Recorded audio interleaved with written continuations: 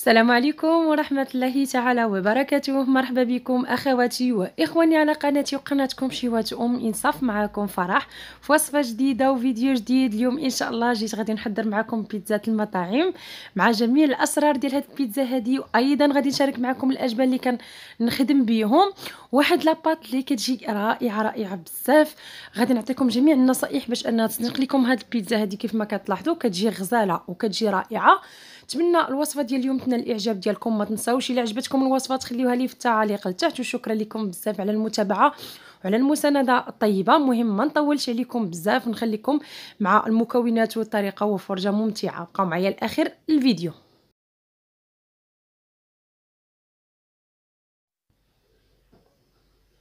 على بركة الله في المرحلة الأولى عندي إناء. غادي نوضع فيه كأس العنبة من المدافي.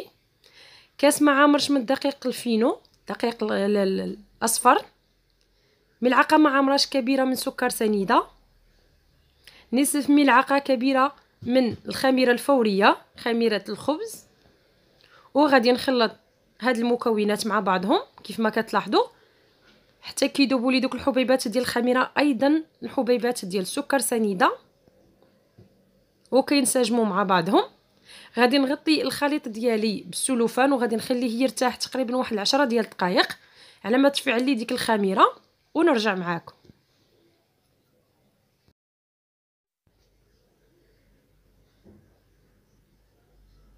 وهنا كيف كتلاحظوا بعد ما خليت الخليط ديالي عشرة ديال الدقائق غادي نمشي للمرحلة الموالية. غادي نضيف قبيصة من الملح. غادي نضيف كأس من الدقيق الأبيض كأس عنبة. وغادي نضيف أيضا أربع ملاعق من زيت الزيتون ملاعق كبيرة. القليل من الزعتر. وغادي نخلط العجين ديالي. على هذا الشكل هذا ثم غادي نضيف كأس الثاني من الدقيق الأبيض وأنا كنخلط. وغادي نشوف القوام ديال العجين في الآخر حتى غادي نحصل على واحد العجين اللي كيكون بهذا الشكل هذا إلا جاتكم كتلتصق بزاف فغادي تضيفوا واحد جوج ملاعق كبار من الدقيق. وإلا بان لكم القوام. بحال ما هذا كيف ما كتلاحظوا نتمنى أن القوام يكون موضح في الفيديو. صافي راه ما كتزيدوهاش الدقيق. غادي آه، ندير هنايا واحد رشيشة خفيفة ديال زيت الزيتون وغادي نجمع العجين ديالي بعد ما غسلت يديا من العجين طبعا. كنجمعها على هذا الشكل هذا. العجين خصو ضروري يكون مرخوف ورطب ما كيلتصقش باليدين نهائيا. غادي نعاود نغطيها بالسلوفان ونخليها تخمر واحد ساعة إلا ربع حتى ساعة يعني قد ما خمرات. كتكون النتيجه أحسن. في المرحلة هذه غادي نمشي باش نشحر البصلة. عندي هنايا بصلة متوسطة اللي قطعتها جوانح بهذا الشكل هذا. غادي نضيف ليها القليل من الملح. قليل من الإبزار. ثلاث ملاعق كبيرة من الزيت نباتية اولا زيت الزيتون اللي متوفر. وغادي نشحر هاد البصلة هذه على نار متوسطة. حتى كطيح هاد البصلة وكتشحر مزيان كنضيف ليها قليل من الزعتر ونخليها على جنب. هنا بعد ما اختمر العجين ديال البيتزا ديالي كيف ما كتلاحظوا ضعف الحجم ديالو. غادي نحاول أنني نجمع هذا العجين بهذا الشكل هذا باش نحيدلو ديك الخميرة. نخدمو مزيان مزيان البنات. وغادي ندير واحد شوية الزيت في اليدين ديالي باش يساعدني أن العجين ما تلصقش لي في اليدين. صافي وغادي نقسم على جوج كويرات بهذا الشكل هذا ونقادهم في نفس الحجم. بالنسبة للمكونات اللي عطيتكم عطاتني هنايا جوج الكويرات ديال لاباط بيتزا. إلا بغيتو كمية أكثر فغادي تضاعفوا المكونات. وغادي نمشي باش غادي نبسط هاد العجين هادي بالدقيق ديال الفينو اولا السميد الرقيق. غادي نبقى كنرش من سميدة رقيقة بحال ما هكا وأنا كنسرح في العجين ديالي حتى كنسرحها جيدا. غادي نسرحها مزيان مزيان البنات وغادي نعاون هكا بالمدلك. خاص العجين ديالي تكون رقيقة بزاف. ما تخليوهاش غليظة البنات لأنه مازال غادي تضعف الحجم ديالها في الفرن ملي غادي ندخلوها. صافي كناخذ هنا اللاطه اللي غادي ندخلها فيها الفرن. أنا كندخلها مباشرة البنات يعني ما كنخليهاش في هذه اللاطه غادي غير نعمرها هنا فوق هذه اللاطه وملي غادي ندخلها الفرن فغادي نحيد ليها ديك اللاطه غادي نحطها مباشرة على اللاطه ديال الفرن. غادي نسرح الكويرة الثانية بنفس الطريقة مع استعانة ديال السميد الرقيق. والمدلك أيضا باش غادي تبسط لي جيدا هاد العجين ونحصل على عجين اللي كتكون رقيقة. في هذه الأثناء البنات الفرن يكون مشعول ويكون على درجة حرارة مرتفعة. هذه هي النصيحة اللي غادي نعطيكم لهاد البيتزا هذه باش تنجح معاكم. فالعافية تكون مجهدة. كيف ما لاحظتوا هنا غادي نتك العجين ديالي بهاد الآلة هذه صراحة كتنفع. عملية إلا ما متوفراش عندكم فغادي تشكوا العجين ديالكم بالفرشيطة.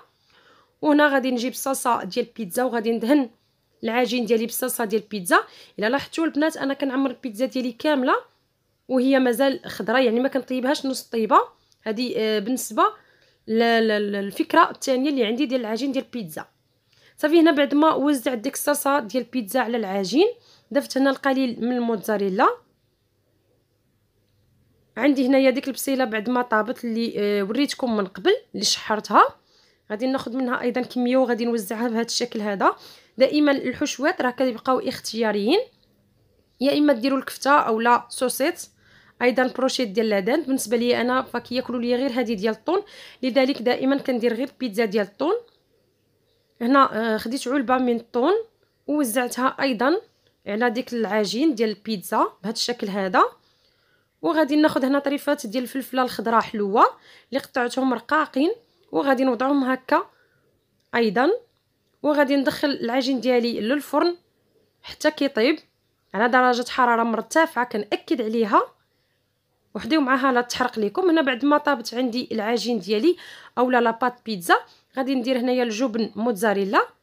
بالنسبة للجبن البنات اللي كنخدم به جبن موتزاريلا اللي كتكون فيه نسبة الدهون 4 40% من نسبة الدهون. وبالنسبة للجبن الأحمر كنستعمل كرون ديال التاج كيبقى هو أحسن جبن أحمر.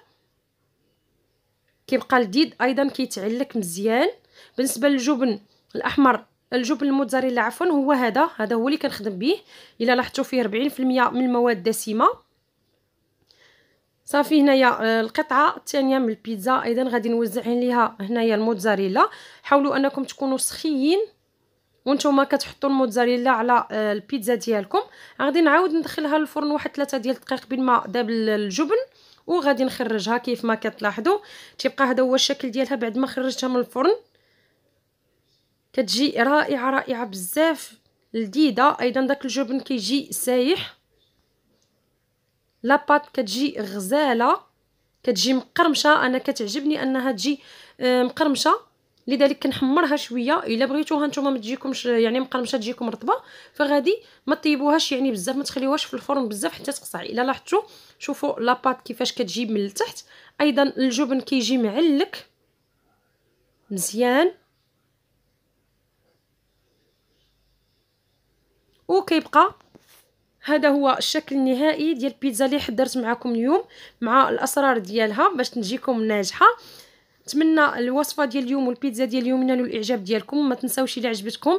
دعموني بلايك واشتراك للقناة إلا كنتوا أول مرة كتزوروا القناة ديالي. شكرا لكم بزاف على المتابعة والمساندة الطيبة وإلى اللقاء في وصفة قادمة. دمتم في رعاية الله.